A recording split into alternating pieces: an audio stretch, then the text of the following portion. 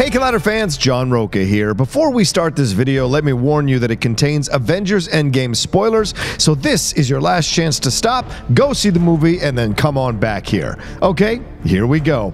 Avengers Endgame absolutely blew the doors off the box office this weekend and left many people surprised by how much drawing power the film actually had. The film was also chock full of surprises itself. One of the biggest ones was how Captain America was able to wield Mjolnir during the final battle with Thanos. Many fans are now scratching their heads after they clapped their hands off in that moment, wondering how this was possible. Well, sit back, put on your Captain America Shield t shirt, and let us clear up this mystery for you. Now, you'll remember that in Avengers Age of Ultron, Cap was able to nudge Thor's hammer a little bit, which caused the God of Thunder and the other Avengers to pause for a moment. It was the first indication that he might be worthy enough to wield Mjolnir someday, but not at that moment. Maybe he didn't want to embarrass Thor, or maybe there was an issue with Captain America's worth.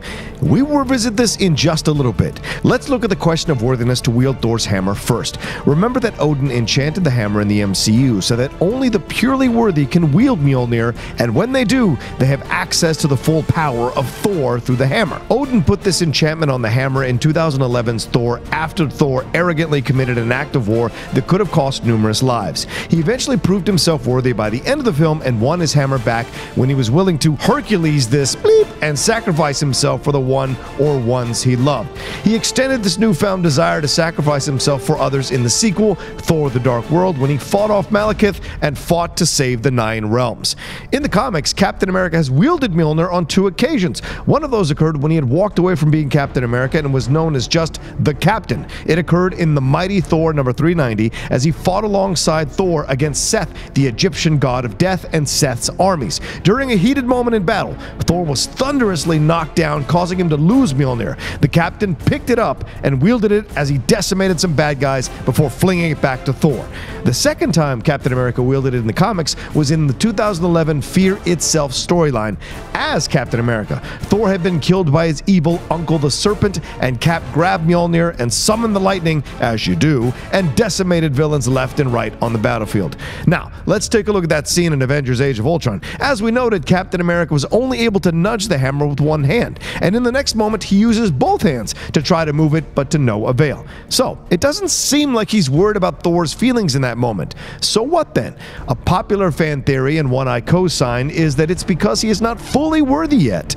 So why would that be? Well, remember in Captain America the Winter Soldier, Cap learned that Bucky was the one who killed Tony Stark's parents. He doesn't tell Tony once he finds out, preferring instead to defend his old friend Bucky, who had obviously been under mind control. Cap doesn't come clean until the end of Captain America Civil War, when Tony sees the video for himself of Bucky's crime. Cap finally confesses to hiding this fact from Tony. Tony is devastated and angry as hell, which leads to one of the best two-on-one battles you'll ever see on screen.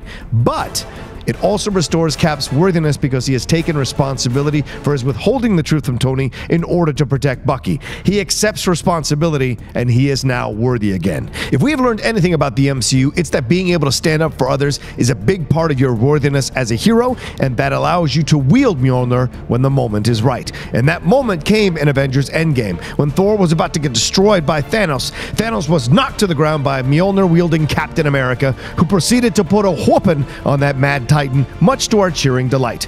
There's another time in the comics where Captain America wielded Mjolnir, but that was during Secret Empire, and the less said of that moment, the better. Okay, hopefully we've cleared it up for you why and how Cap was able to wield Mjolnir like a badass in Avengers Endgame and give that mad Titan all he could handle during their battle at the end of the movie. Let us know if we missed anything in the comments section below. Remember to like and share this video on your social media and to subscribe to the channel for more Avengers Endgame videos just like this one.